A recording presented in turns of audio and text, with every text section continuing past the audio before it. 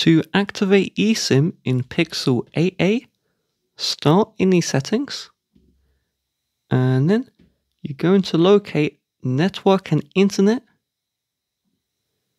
We are then going to select SIMs and we should see add SIM and then set up an eSIM. If your carrier has put an eSIM in your phone already, it will automatically download and you'll have an add phone number option.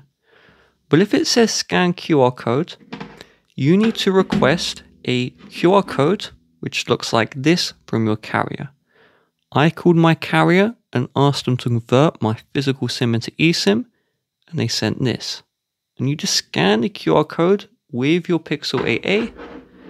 And for me, my SIM is being used on another device. It's being used on this phone. If your eSIM is fresh, you have the option to add the number and then you're done.